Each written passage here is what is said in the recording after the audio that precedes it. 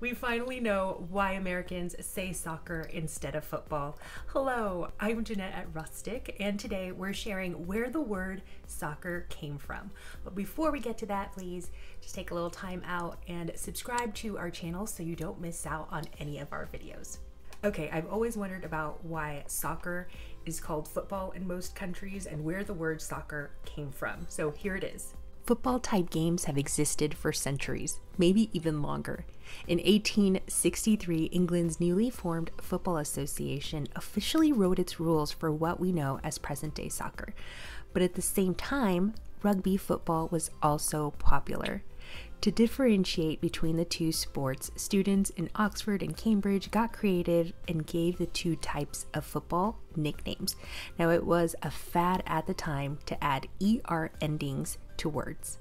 So, these creative students gave us rugger for rugby football and this word for association football. I can't say it. let's pronounce that word assoccer. So that was further shortened to soccer, but the name didn't stick in England. So let's move over to the US. So the American Association football players loved the term soccer to refer to their sport because at the time, gridiron football or present day American football was growing in popularity.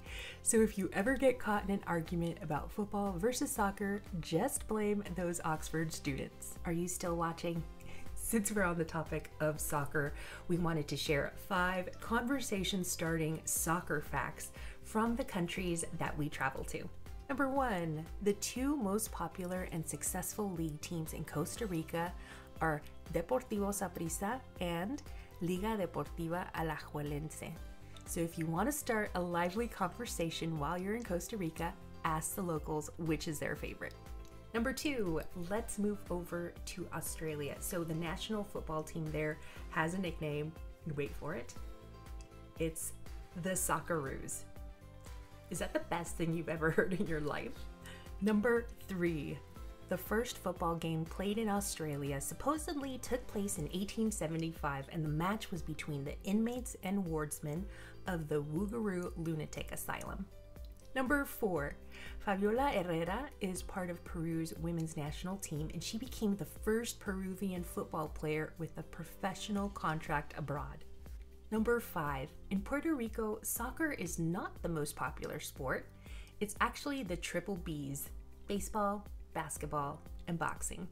Let us know of any interesting soccer facts that you've heard in the comments below. We love to hear from you.